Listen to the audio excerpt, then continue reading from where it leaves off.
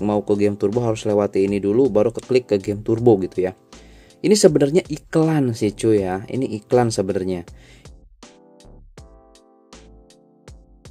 Kembali lagi bersama saya di channel Wahyu Jekta Tutorial. Nah, teman-teman di video kali ini di sini saya mau share aja nih ya.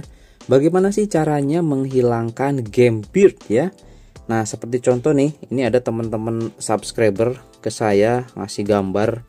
Nah, Bang, kok punya saya gini ya, game beard ya? Nah, seperti ini nih.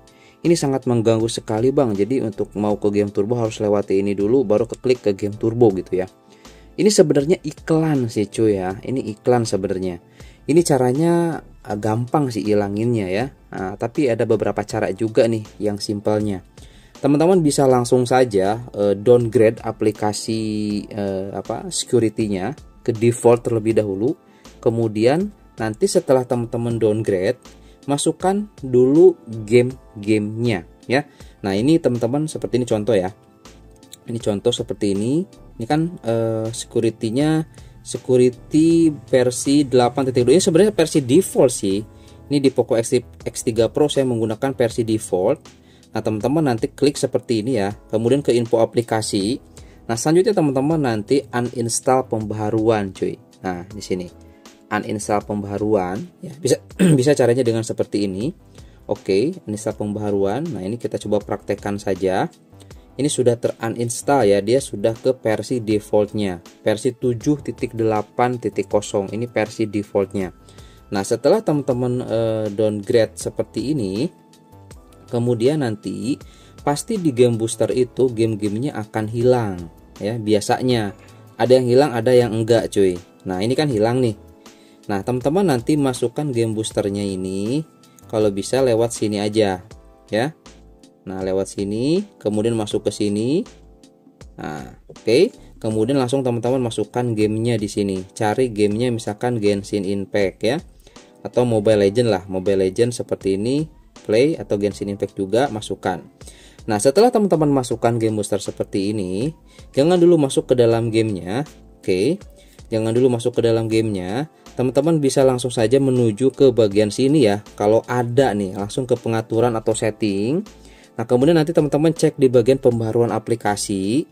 Nah, selanjutnya teman-teman nanti di sini cari ada nggak nih keamanan. Nah, kalau ada keamanan seperti ini, langsung saja teman-teman upgrade ya. Nah, ini ke versi 8.1.7 ekor 1.3 nih untuk di Poco X3 Pro ya. Ini langsung perbaharui aja seperti ini ya. Yang pasti jangan dulu dibuka gamenya.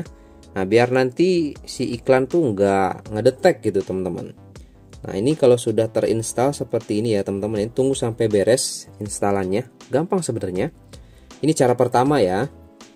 Ini cara pertama langsung aja kita upgrade untuk di bagian keamanannya. Tapi downgrade dulu ya dengan catatan harus downgrade dulu supaya si game build ini hilang. Karena ini modelnya iklan cuy. Gitu ya. Nah kalau sudah seperti ini nah teman-teman langsung aja back. Back. Nah ya. Kalau udah teman-teman seperti itu langsung aja masuk ke dalam game boosternya. Seperti ini. Nah di sini kan untuk GPU setting hilang nih. Nah ini bisa lah bebas. Ini di setting dulu di set edit atau enggak boleh. Kemudian masuk lagi ke dalam setting. Nah pastikan di sini settingannya yang sudah saya seperti ini ya.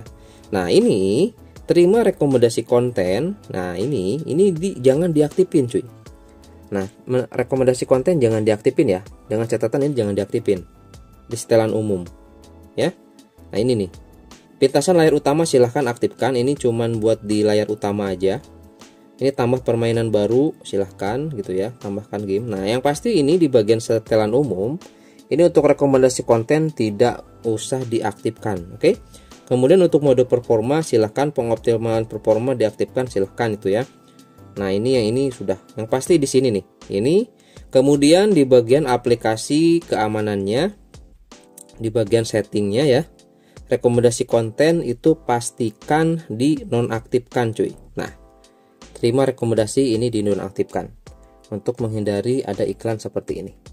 Oke, sudah kalau sudah seperti ini udah tinggal main aja. Itu ya. Ini keluar aja. Kita coba tes ya. Pasti nggak ada sih. Pasti nggak bakalan ada nggak keluar gitu ya. Langsung kita coba tes aja. Kita lihat. Nah, timer tersedia game booster. Langsung aja tarik. Nah geser untuk buka game booster. Ini pasti nggak bakalan ada cuy. Tuh. Bahkan e, untuk model kayak iklan di gamenya kayak beli kristal diamond yang seperti itu dia hilang sekarang. Nggak ada. Tuh. Seperti ini cuy hilang. Jadi bersih seperti ini aja. Itu cara pertama ya. Nah kemudian cara kedua teman-teman kalau misalkan masih tetap ada nih setelah melakukan yang barusan itu yang sudah melakukan barusan tutorial barusan itu masih ada nih gambarnya nih nggak hilang nih. Nah coba teman-teman masuk ke dalam setting gunakan DNS pribadi ya. Masuk ke dalam koneksi dan berbagi sana ini. Kemudian gunakan DNS ini. Nah ya gunakan DNS ini nih. Nah aduh blur ya. Nah, ini nah gunakan DNS ini. Ini tinggal diklik aja. Teman-teman tinggal langsung aja klik yang bawah simpan gitu ya. Nah itu dijamin iklan gak bakalan muncul cuy. Gitu ya. Dijamin iklan gak bakalan muncul. Itu aja sih intinya mah itu. Dua itu aja dulu teman-teman. Kalau misalkan nanti teman-teman setelah melakukan eh, tutorial yang saya jelaskan barusan Dan masih tetap muncul si ini game beat Nah ya Nanti saya akan bahas di uh, video selanjutnya cuy Untuk menghilangkan iklan secara keseluruhan di HP Xiaomi. Sebenarnya saya sudah buat sih Itu ya. Kalau misalkan teman-teman udah tahu apa itu yang namanya MIUI Diamond gitu kan. Nah itu itu harus di off kan tuh itu harus di off kan ya. Gitu teman-teman ya. Nah coba aja dulu dua cara yang barusan sudah saya jelaskan. Nah ya, pastikan uh, tutorialnya sesuai ya. Jelas ya teman-teman ya. Pasti nanti si game boosternya gak bakalan muncul game seperti ini. Makanya saya heran juga sih karena semua di HP saya ya di Xiaomi yang menggunakan game booster security seperti ini gak pernah muncul sih namanya game ini cuy. Karena saya sudah setting sebelumnya yang tadi sudah saya jelaskan di video ini cuy. Makanya iklan di game booster seperti ini gak bakalan muncul. Memang sih ini sangat mengganggu sekali cuy. Asli ini mah karena banyak juga yang uh, japri ke saya ya mau lewat messenger Facebook ke i pakai email gitu kan. Ada. Nah jadi di sini baru saya coba buat tutorialnya. Seperti itu. Jadi caranya gampang lah. Tinggal tadi yang sudah saya jelaskan. Dua tadi yang saya jelaskan cuy. Cukup itu aja dulu ya. Kalau masih nanti muncul nanti saya buat part keduanya cuy. Untuk cara menghilangkan si game build ini. Harusnya dengan dua cara tadi tuh sudah hilang ya. Sudah nggak muncul lagi game build seperti ini gitu teman-teman ya. Biasalah ini mah iklan teman-teman ya. Gitu. Gambit sebenarnya pas awal ada yang japri bentar bentar bentar. Gambit Gambit apa sih maksudnya gitu ya? Gambit apa? Ternyata Gambit yang seperti ini jadi iklan gitu cuy.